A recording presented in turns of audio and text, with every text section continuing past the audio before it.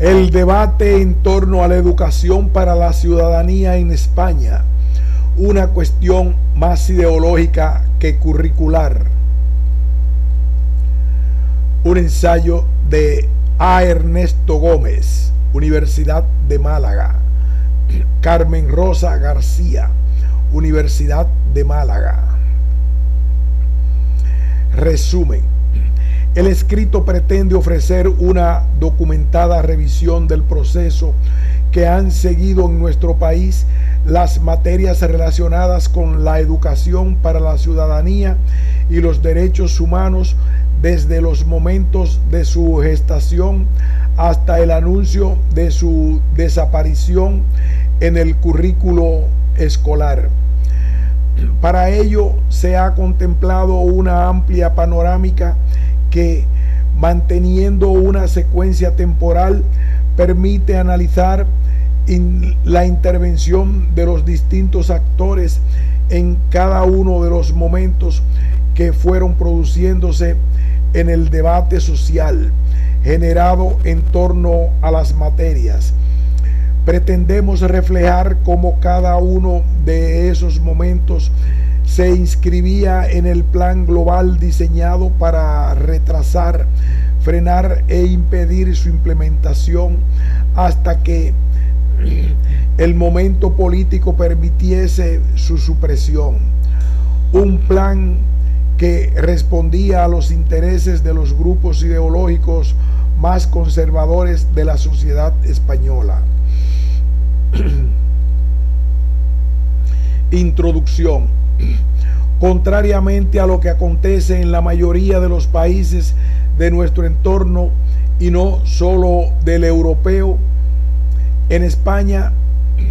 se ha desatado un extraño conflicto vinculado con una materia escolar cuya inclusión en el círculo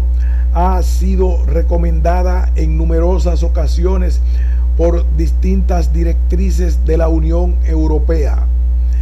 Las razones de este conflicto trascienden las meramente educativas. Responden a una calculada estrategia política que, revestida de argumentos religiosos basados en postulados profundamente antidemocráticos, manifiestan el sectarismo y la falta de respeto de los sectores y grupos que los propugnan. Como ha señalado Gregorio Cámara, catedrático de Derecho Constitucional de la Universidad de Granada, el debate al que estamos asistiendo no es un verdadero debate, se trata de un radical embate que pretende descalificar esta formación y suprimir esta asignatura. Si se quiere, es en cualquier caso un debate completamente deformado por la cuestión previa y más inclusiva de carácter ideológico político. La adopción de una inamovible postura de incomprensión radical por parte de determinados sectores sociales y fuerzas políticas acerca de lo que supone una exigencia fundamental del sistema democrático como es la necesaria formación de todos en los principios y valores compartidos constitucionalmente consagrados con independencia de cuáles son las propias opciones legítimas, por supuesto, que se adopten en los terrenos moral, religioso, ideológico o político. El origen del conflicto. La raíz del conflicto arranca en marzo de 2004 con la llegada al gobierno de España del Partido Socialista Obrero Español, tal como había anunciado en su programa electoral, una de las primeras medidas de carácter educativo adoptadas fue la suspensión del calendario de aplicación y desarrollo de la Ley Orgánica de Calidad de la Enseñanza, LOCE, que el anterior gobierno del Partido Popular, PP, había elaborado y que debía entrar en vigor a comienzos del curso escolar 2004-2005. Entre los argumentos aducidos para adoptar esta medida, el principal era que la LOCE no había contado en su aprobación más que con el apoyo del PP. Efectivamente, el Pleno del Congreso de los Diputados aprobó la ley con los 182 votos del PP y de Conciliación Canaria y obtuvo 130 en contra, emitidos por los grupos de oposición. Una cuestión trascendental en un Estado como el español, caracterizado por una fuerte descentralización educativa y que resulta muy difícil entender, puesto que numerosas comunidades autónomas, entre ellas las de carácter más nacionalista, como Cataluña y Euskadi, y o con mayor población como Andalucía, se oponían a la ley al estar gobernadas por otros partidos bien de carácter nacionalista o estatal. La LOCE, cuyos principales objetivos se orientaban a reducir el fracaso escolar y a elevar el nivel de conocimientos del alumnado, era la tercera reforma educativa elaborada por el PP en esa legislatura, junto con la ley de universidades y la ley de formación profesional. Para el PSOE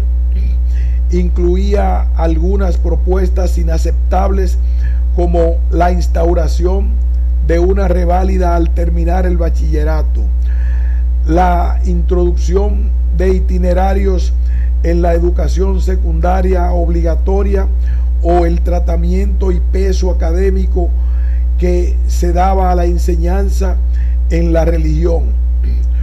Junto a estas propuestas había otras muchas razones de carácter pedagógico para oponerse a la ley, como las basadas en el hecho de que el currículo propuesto presentaba un retroceso en la selección y estructura de los contenidos, especialmente en aquellas áreas como la historia y la geografía en las que se volvía a poner el acento en una enseñanza con excesivos contenidos y con criterios culturalistas que se creían desterrados con la anterior ley educativa todavía vigente la Ley Orgánica General del Sistema Educativo, LOGSE, promulgada por el PSOE en 1990. En ese contexto, el nuevo gobierno resultante de las urnas presentó un breve plazo de tiempo, una propuesta marco con las líneas generales inspiradoras de la nueva ley. El capítulo octavo, titulado Los valores y la formación ciudadana, contemplaba que en una sociedad democrática la educación en valores debe referirse necesariamente a aquellos que capacitan para el desarrollo de la ciudadanía y que el desarrollo de las actitudes de respeto, tolerancia, solidaridad, participación o libertad debe figurar entre los objetivos y las tareas del sistema educativo. MS 2004.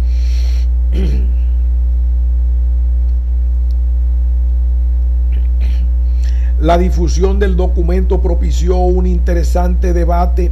en el que participaron numerosos colectivos representados de asociaciones y organizaciones de todo tipo y carácter. Sin embargo, también desde el primer momento surgió la polémica, ya que la declaración del Ministerio de Educación y Ciencias, MEC, de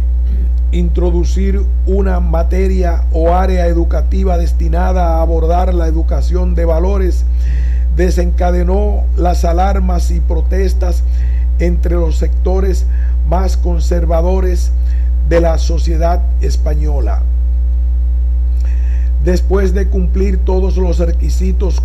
consultivos y jurídicos, la aprobación parlamentaria de la nueva ley orgánica de educación tuvo lugar en mayo de 2006. Obtuvo 181 votos a favor de los diputados del PSOE, Euskera Republicana, Republicana de Cataluña, partidos nacionalista vasco, Izquierda Unida, ICB y Coalición Canaria. 133 votos en contra de los diputados del PP y 12 abstenciones procedentes de Convergencia y Unión y los diputados del grupo mixto pertenecientes al bloque nacionalista gallego y junta aragonesista.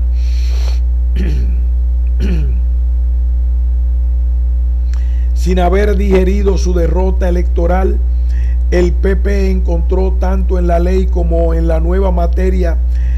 que incluía un instrumento idóneo para socavar la estabilidad del gobierno socialista. En principio, se limitó a anunciar su rechazo a la nueva materia para ceder el protagonismo en la protesta y la confrontación a numerosas organizaciones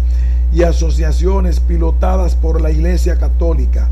Sin embargo, lo que más llamó la atención y que es necesario tener bien en cuenta es el hecho de que en ningún momento el PP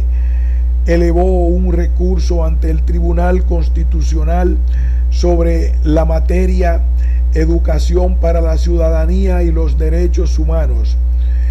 en adelante EPC y los DDHH. Las raíces europeas de la implantación de la EPC. Esta actitud del PP solo se puede explicar por el hecho de que la implantación de la EPC no respondía a una concurrencia del presidente Zapatero como más tarde se ha repetido insistentemente, sino que en buena medida se debía a una recomendación de carácter supraestatal emitida por el Parlamento Europeo y aprobada con el apoyo del gobierno español del PP en 2003. Una circunstancia que apenas se ha destacado y que resultaría muy difícil de explicar. En efecto, desde 1997, siendo ministra de Educación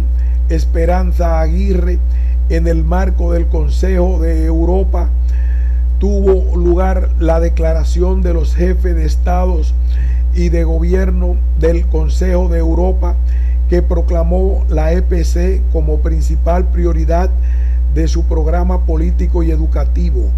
desarrollando un programa sobre educación para la ciudadanía democrática concerniente con el conjunto de prácticas y actividades diseñadas para ayudar a todas las personas, niños, jóvenes y adultos a participar activamente en la vida democrática, aceptando y practicando sus derechos y responsabilidades en la sociedad. Programa que proponía como objetivos prioritarios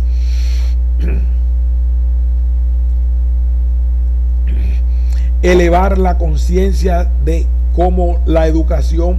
pueda contribuir a desarrollar la ciudadanía democrática y la participación, promover la cohesión social y el entendimiento intercultural, el respeto de la diversidad y de los derechos humanos.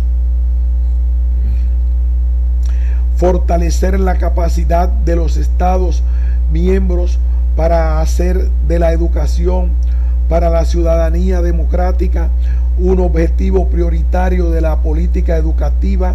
con reformas pertinentes en todos los niveles del sistema. Más adelante, en 1999, siendo Mariano Rajoy ministro de Educación, el Comité de Ministros de la Educación Europea adoptó la declaración y el programa sobre la EPC democrática. Un año después, en 2000, se celebró la vigésima sesión de la Conferencia Permanente de Ministros Europeos de Educación, siendo ministra Pilar del Castillo, y en ella se aprobaron los resultados y conclusiones del proyecto de EPC democrática. Por último, gobernando ya el PSOE con María José San Segundo como ministra,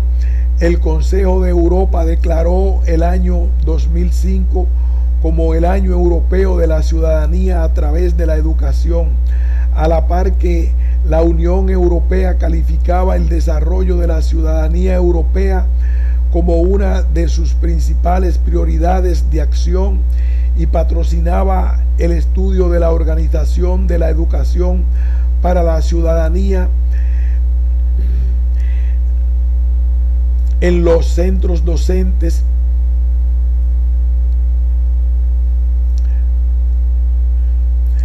En dicho texto se aludía a algo que para los grupos españoles contrarios a la implantación de la EPC resultaría escandaloso por el bien de la cohesión social en Europa y de una entidad europea común. Los alumnos en los centros docentes deben recibir información específica sobre el significado de la ciudadanía, los tipos de derechos y deberes que ésta conlleva y sobre qué hacer para portarse como un buen ciudadano. Estructura y contenido de la EPC y los derechos humanos. En su exposición de motivos, la Ley Orgánica de Educación señalaba lo siguiente sobre la nueva materia.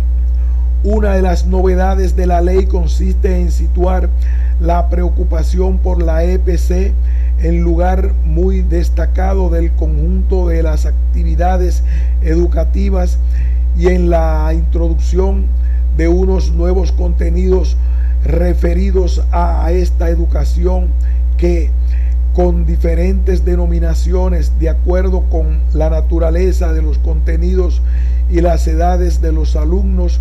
se impartiría en algunos cursos de la educación primaria, secundaria, obligatoria y bachillerato. Su finalidad consiste en ofrecer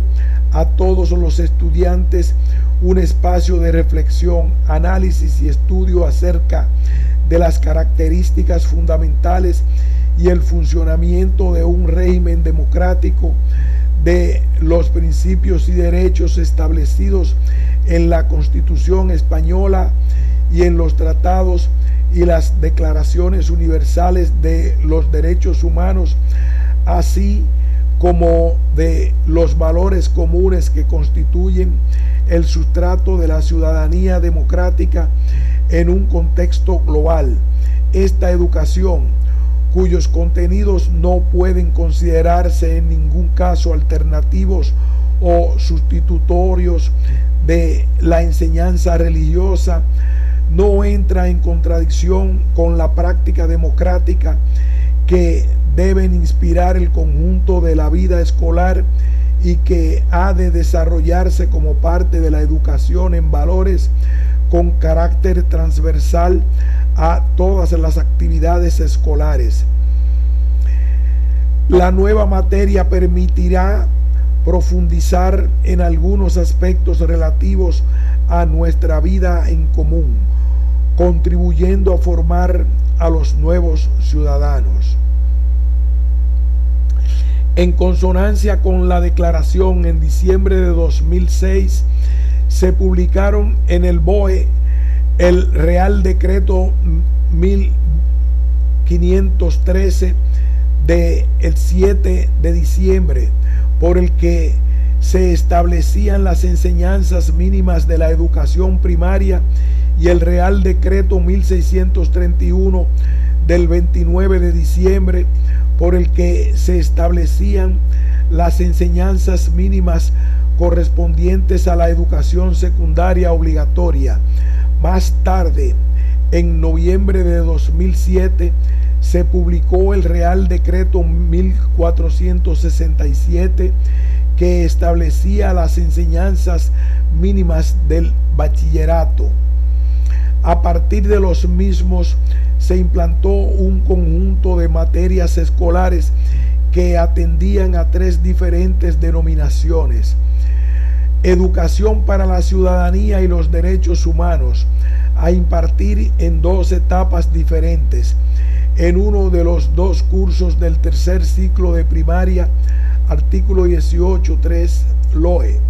alumnos de entre 10 y 12 años en uno de los tres primeros cursos de la ESO, artículo 24.3 LOE, alumnos de entre 12 y 15 años. Educación ético-cívica que se impartiría en el cuarto de la ESO, artículo 25.1 LOE, alumnos entre 15 y 16 años. Filosofía y ciudadanía a impartir en un curso de bachillerato, artículo 34.6 LOE, alumnos de entre 16 y 18 años. Materias que de forma generalizada tendrían como objetivo general favorecer la formación de futuros ciudadanos con criterio propio, respetuosos, participativos y solidarios que conozcan sus derechos, asuman sus deberes y desarrollen hábitos cívicos para que puedan ejercer la ciudadanía de forma eficaz y responsable y que a grandes rasgos se configuraron en torno a cuatro bloques temáticos. Uno, convivencia con el entorno próximo. Dos, principios de vida en una sociedad democrática. Tres, ejercicio de la ciudadanía en un contexto global. Y cuatro, situación y relación del individuo consigo mismo y con los demás. Este último bloque temático que afecta a la educación afectiva vinculado a uno de los objetivos generales de la materia, favorecer el desarrollo de personas libres e íntegras a través de la consolidación de la autoestima, la dignidad personal, la libertad y la responsabilidad, se convierte para Matilde Peinado 2012 en el sujeto de la discordia, si bien podríamos añadir a tenor de investigaciones que hemos realizado con anterioridad que también es cuestionado el principio de sociedad inclusiva al que alude García Roca 2007. Igualmente dentro del cuarto bloque temático, la relación del individuo consigo mismo y con los demás ha sido el epígrafe dedicado a la familia, uno de los pilares fundamentales de la controversia suscitada en torno a la asignatura. El papel beligerante de la Iglesia Católica. Desde las numerosas organizaciones adscritas a la Iglesia Católica fueron apareciendo iniciativas a cual más conservadora que jaleadas por determinados medios de comunicación constituyeron una potente plataforma mediática que desencadenó una ruidosa y virulenta campaña basada en los siguientes postulados. La negativa a la capacidad del Estado para impulsar y promover la formación en valores democráticos, afirmando que este es un derecho y privilegio exclusivo de las familias y calificando de totalitarismo al Estado que transgreda este postulado. El sostenimiento de la idea de que el Estado no puede introducir como obligatoria una asignatura cuyos principios van dirigidos teórica y prácticamente a la formación moral del alumnado, introduciendo una concepción del hombre, de la vida y del mundo que compita con la formación religiosa elegida libremente o suplantarla subreticiamente.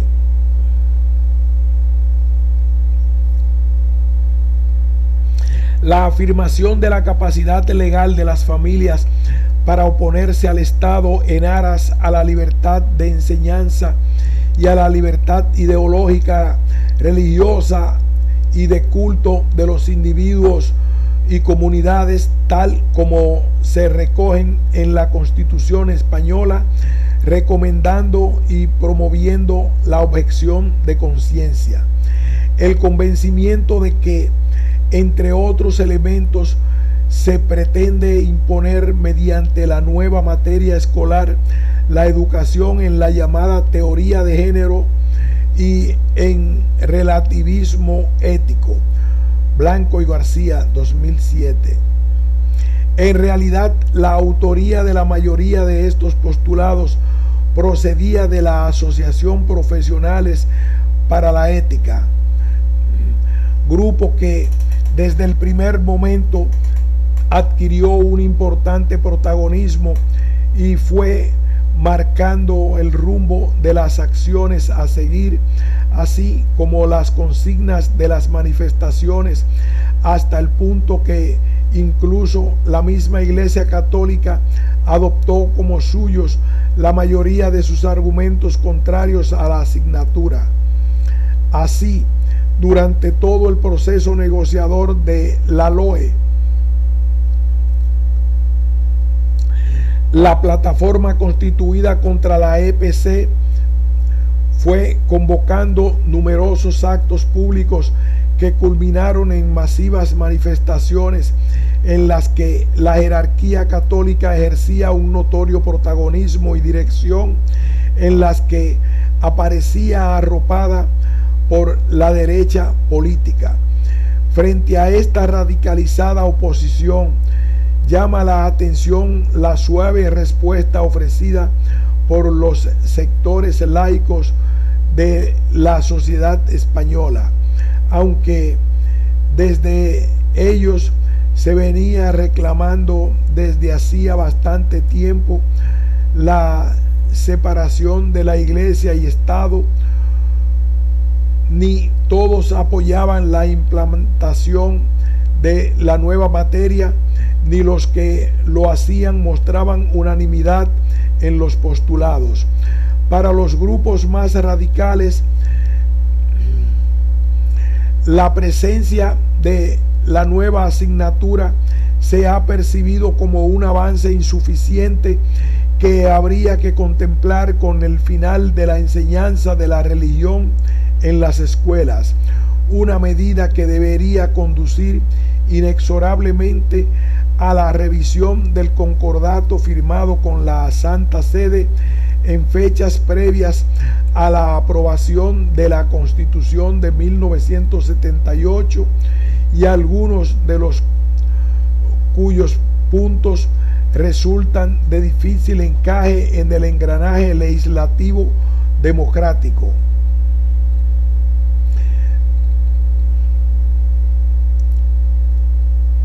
Además, el hecho de que el MEC,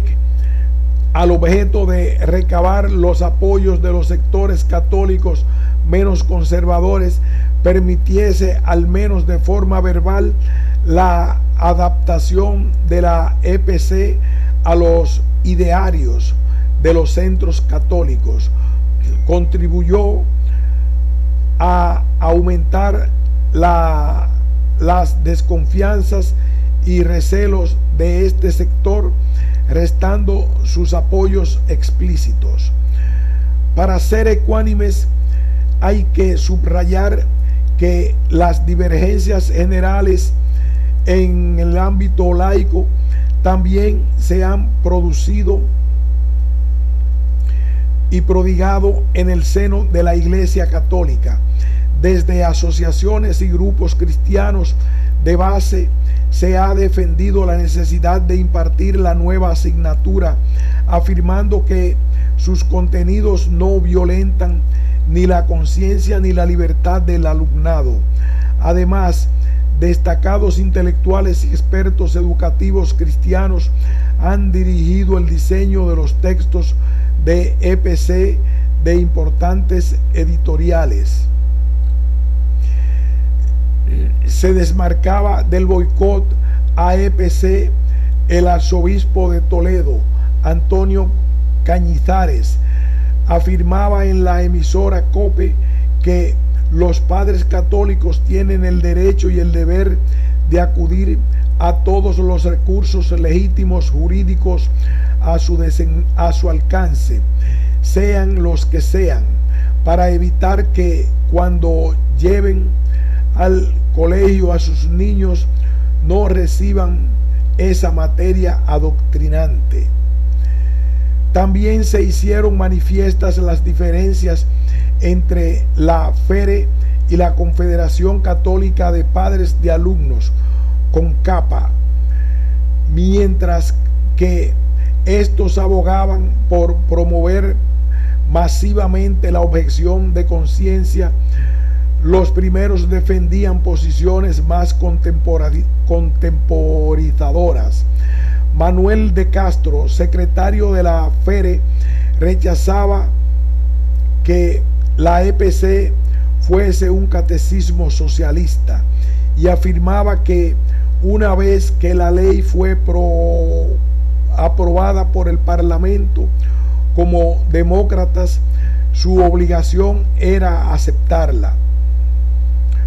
Por su parte, el dirigente de la CONCAPA, Luis Carbonell no dudaba en comparar la asignatura de nueva creación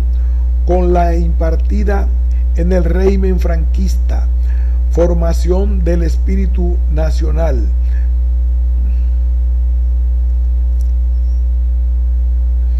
El papel obstaculizador de las comunidades autónomas gobernadas por el PP una vez insuflado el contenido sobre la EPC en los medios de comunicación, llegó el turno de inmiscuirse en el mismo a las instituciones. El sistema autonómico adoptado por el Estado español establece que las comunidades autónomas tienen competencia y capacidad suficiente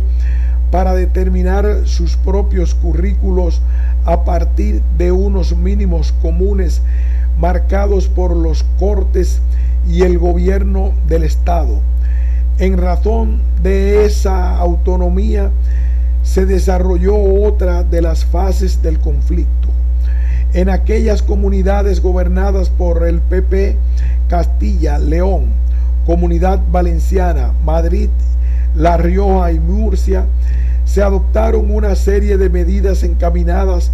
a retrasar, impedir o transformar el sentido de la nueva asignatura.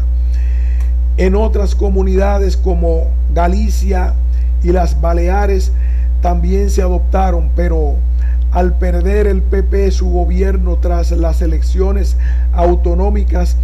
estas medidas rápidamente se modificaron. Curiosamente, en Navarra, donde gobierna un partido adscrito al PP y donde la Iglesia Católica tiene un fuerte arraigo, apenas ha habido conflictos y su gobierno ha mantenido una línea independiente. En los primeros momentos, esta oposición legislativa se llevó a cabo sin un plan prefijado, ya que aunque coincidían en las líneas generales de oposición, cada gobierno autonómico actuó de manera parcializada.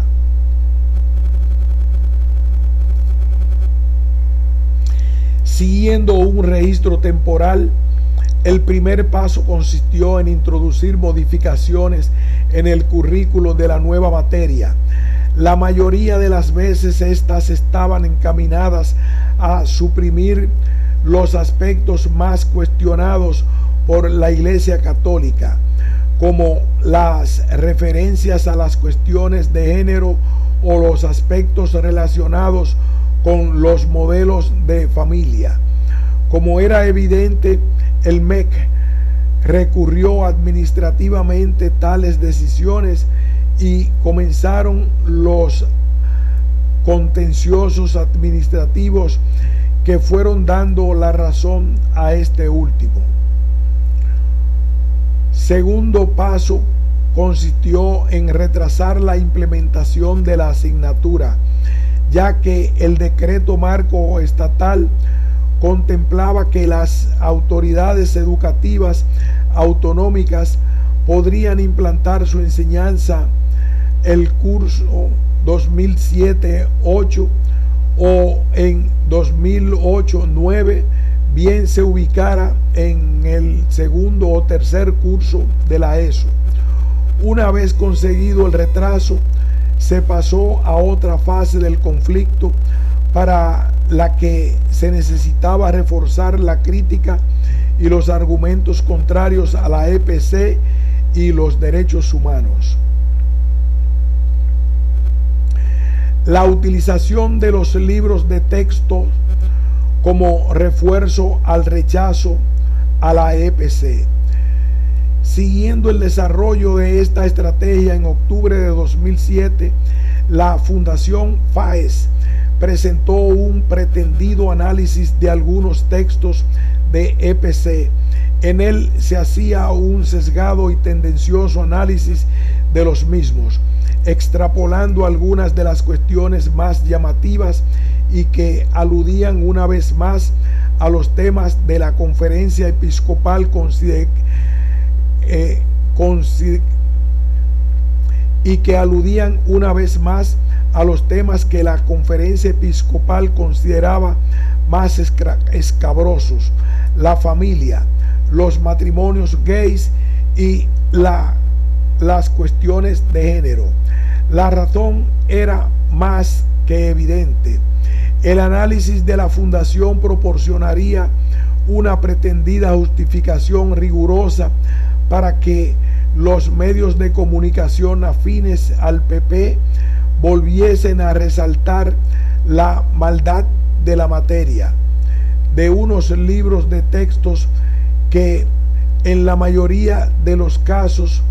todavía se estaban redactando y, de,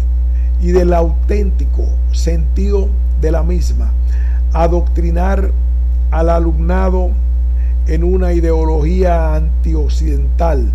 antiamericana y, esta, y estatalista.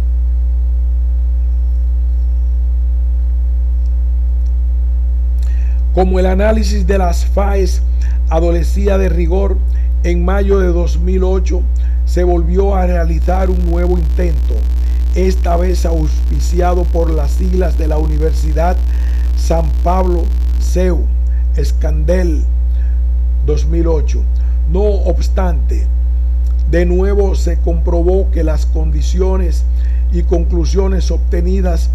estaban viciadas de origen, ya que de antemano se negaba a las editoriales la capacidad para acometer este trabajo sin el control por inadecuados, nocivos y peligrosos los textos de las editoriales cristianas, alegando que incluso podían ser peores que otras por confundir al alumnado. Un trabajo de Jares 2008 vino a demostrar la ausencia de calidad y rigor de estos análisis y aún siendo bastante crítico en determinados aspectos, que se, que se contemplan en algunos textos permite afirmar que en la mayoría de los casos los análisis que se hicieron respondían a meros estereotipos y se basaban en las temáticas escabrosas que antes citábamos. En esta misma línea, otro exhaustivo trabajo de García y Gómez, 2012, llega a similares conclusiones después de analizar 17 manuales correspondientes a las editoriales de mayor difusión en España. Más recientemente, la tesis doctoral de Erika González defendía en la Universidad de Granada que viene a, perdón, más recientemente la tesis doctoral de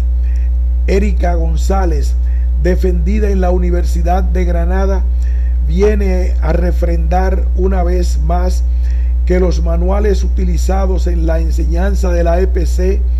no son tendenciosos y adoctrinadores como sostenían sus detractores. El traslado del conflicto al sistema judicial. El siguiente paso del proceso estaba relacionado con la vía administrativa y judicial. Para ello se fomentó la presentación de todo tipo de recursos encaminados a frenar, retrasar o entorpecer la puesta en marcha de la asignatura en el curso académico. Hasta ese momento los medios de comunicación anunciaban la presentación de cientos y miles de recursos presentados ante las autoridades educativas de las comunidades autónomas gobernadas por socialistas en su mayoría, por padres de alumnos que decían velar para que sus hijos no fuesen adoctrinados en una ideología estatal totalitaria, como aquellas no accedían a sus peticiones de admitir que sus hijos no cursasen la asignatura, se cambió de táctica. Aquí haremos una pausa y continuaremos en el título basándose en el artículo 16.1 de la Constitución que garantiza la libertad ideológica, religiosa y de culto de los individuos y las comunidades sin más limitación.